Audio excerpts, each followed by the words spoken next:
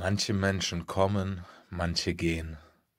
So wie grüne Blätter auf dem Ast werden sie gelb, rot und braun, fallen vom Baum auf den Zaun und die Mauern, schmücken bunt eine Weile den Zement, nun verwehen sie mit dem Wind.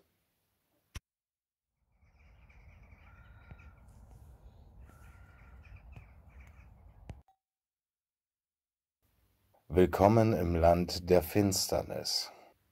Für mehr Licht gehen sie raus. Für mehr erfrischenden Seufzer drücken sie Schauer. Für Mitternachtsstunden drücken sie Beschwörungswort. Für schmerzliche Glut drücken sie höfliche Frauen. Für den ultimativen Sturz drücken sie Unterweltmänner.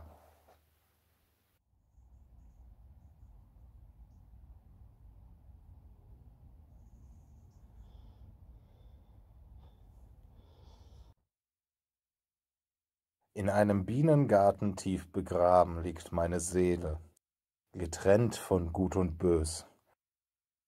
So viele Dinge will ich sagen, doch wo soll ich beginnen? Meine Zunge ins Grab gelegt.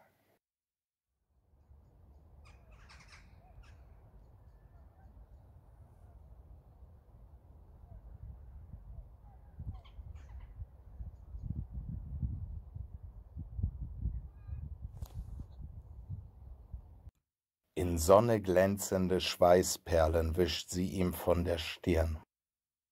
Er erwidert nur sehr mühsam ihr Lächeln von dem die Menschen zu den Stunden des Sonnenuntergangs bloß träumen können. Vielleicht wird er das Lachen nicht verlernt haben, hofft sie, schwebend auf der grauen Wolke der dumpfen Lust.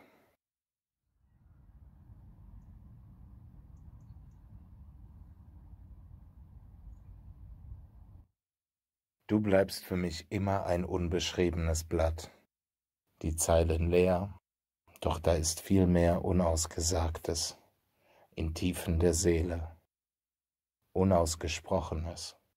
Du hast den Mund wie mein Vater, das Gesicht wie ein Käfer. Es lacht, es weint, doch es spricht nicht,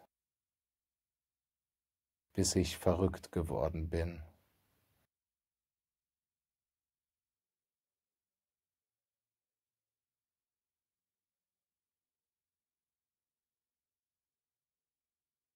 Komm, ich rette dich vor der Welt, sagte sie entschlossen, drückte fest seine Hand, die zitterte.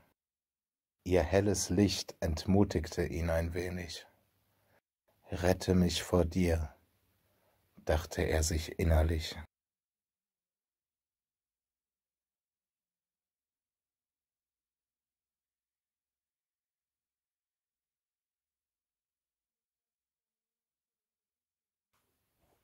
Der Himmel so blau, doch in mir alles grau. Verwobene Geschichten pressen sich ins Gehirn. Weglaufen ergibt keinen Sinn. Mit schweren Hammer versuche ich sie zu jagen, in einen Abgrund zu schlagen, rastlos die Spukerei vernichten. Schweig still, ich bin ein guter Jäger.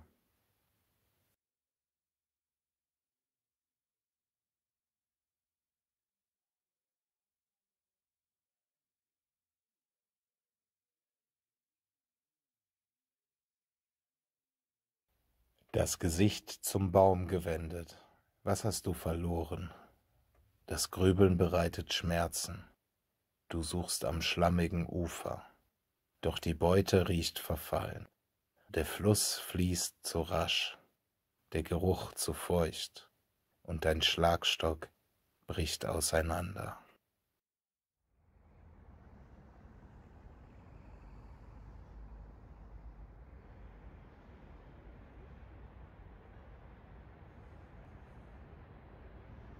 Wo ist dein Platz in diesem nach rechten Parolen schreibenden Land? das der Vergangenheit Vergessenheit verleiht, oder unter den zur Aufruhr strebenden Bürgern, die den Schmerz auf dem Tablett tragend nach der Freiheit rufen. Nichts ist so heilsam für die Seele wie die unermessene Freiheit des Geistes.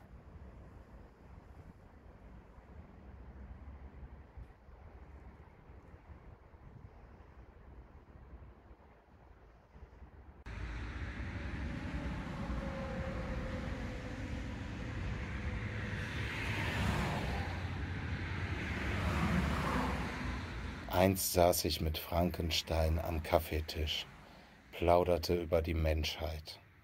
Bis zur Mitternacht klagte er säuerlich über sein unbekanntes Gesicht und dass der Kaffee merkwürdig riecht, bis mir das Wesentliche entwich, dass meine Hand blutig verstümmelt war.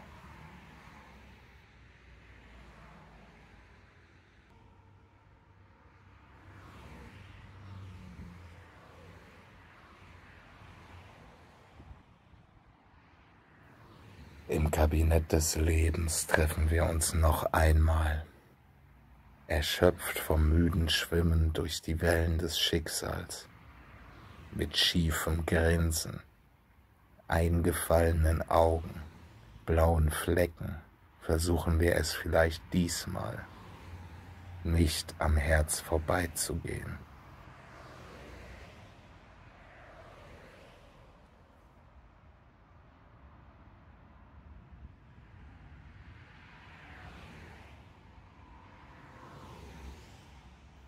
Manche Menschen kommen, manche gehen. So wie grüne Blätter auf dem Ast werden sie gelb, rot und braun, fallen vom Baum auf den Zaun und die Mauern, schmücken bunt eine Weile den Zement, nun verwehen sie mit dem Wind.